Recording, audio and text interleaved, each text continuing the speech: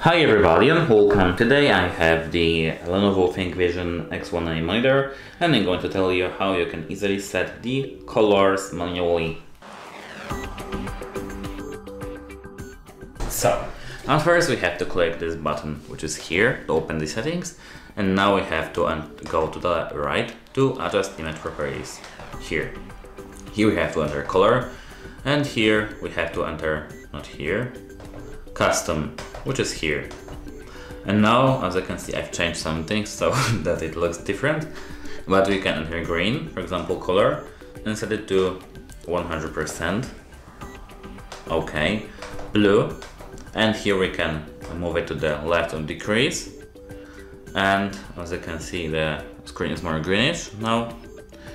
And we can move it to the right to increase the value of the blue and the same with the rest uh, with the rest one. For example I will set it to the 80 now. And now I will uh, decrease the red value to the for example 0 as you can see this is how we can easily manage our colors manually. That's it. Hope it helps you and goodbye